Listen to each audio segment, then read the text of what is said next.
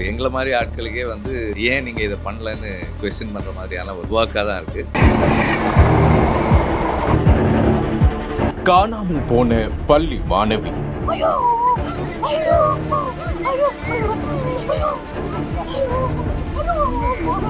ரயில் நிலையத்தில் கிடைத்த தடயங்கள்.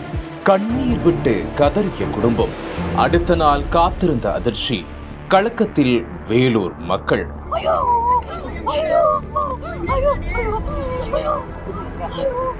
வேலூர் மாவட்டம் குடியாத்தம் பகுதிக்கு அருகே அமைந்துள்ளது கார்த்திகேயபுரம். இந்த பகுதியைச் சேர்ந்தவர் பாஸ்கர். இவருக்கும் அதே பகுதியைச் சேர்ந்த நந்தினி என்ற பெண்ணுடன் கடந்த பதினேழு ஆண்டுகளுக்கு முன்பு திருமணம் நடந்துள்ளது. இந்த தம்பதிக்கு ஒரு மகனும் ஒரு மகளும் உள்ளனர். இதில் பதினைந்து வயதான மகள் பிரதிகா நடுப்பேட்டை பகுதியில் உள்ள அரசு நிதி உதவி பெறும் தனியார் பள்ளியில் பத்தாம் வகுப்பு படித்து வந்தார். இந்த நிலையில் அந்த பள்ளி மாணவி கடந்த சில நாட்களாகவே மன உளைச்சலில் இருந்து வந்ததாக கூறப்படுகிறது. தன்னுடைய கவலைகள் குறித்து வெளியே சொல்லாமல் மனதிற்குள்ளேயே வைத்துள்ளார் ஆனால் இதற்கு சரியான காரணம் என்னவென்று தெரியவில்லை. அதே வேளையில் மகள் பிரதிகாவை பாஸ்கர் தனது இருசக்கர வாகனத்தில் பள்ளிக்கு அழைத்து செல்வது வழக்கம். அந்த வகையில் கடந்த இருபதாம் தேதி திங்கட்கிழமை அன்று பாஸ்கர் வழக்கம் போல் தனது மகளை பள்ளிக்கு அழைத்து சென்றுள்ளார். ஆனால் அன்று மாலை நீண்ட நேரமாகியும் மாணவி பிரதிகா வீடு திரும்பவில்லை. இதையடுத்து மாணவியின் பெற்றோர் உடனடியாக பள்ளிக்கு சென்று அங்குள்ளவர்களிடம் விசாரித்து உள்ளனர்.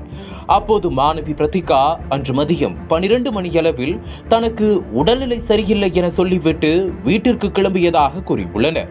இதனால் சந்தேகமடைந்து உறவினர்களும் நண்பர்களும் சேர்ந்து மாணவி பிரதிகாவை பல்வேறு இடங்களில் தேடியுள்ளனர் ஆனால் எங்கு தேடியும் அவர் கிடைக்கவில்லை.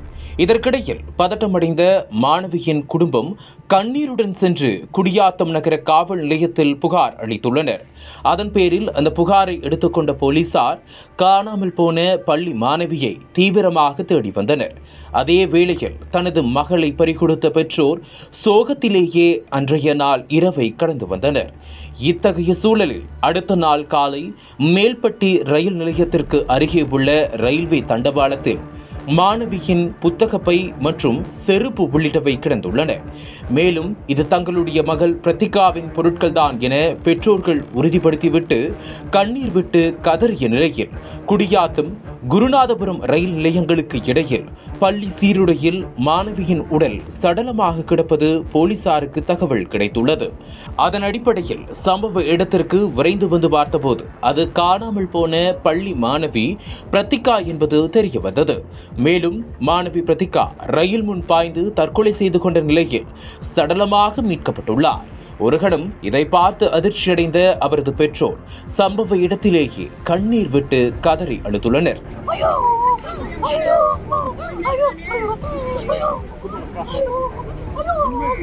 இதனால் அந்த இடத்தில் நூறுக்கும் மேற்பட்ட மக்கள் குவிந்து வந்தனர்.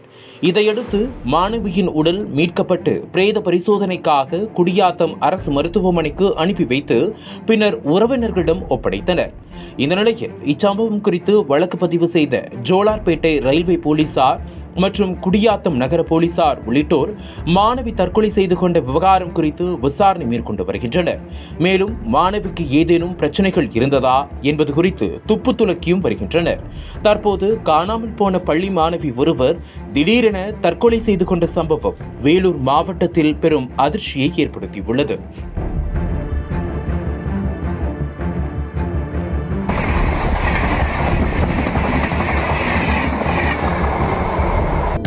அனல் பறக்கும் செய்திகளை அப்டேட் செய்து கொள்ள நக்கீரன் களத்தை இப்பவே சப்ஸ்கிரைப் பண்ணுங்க.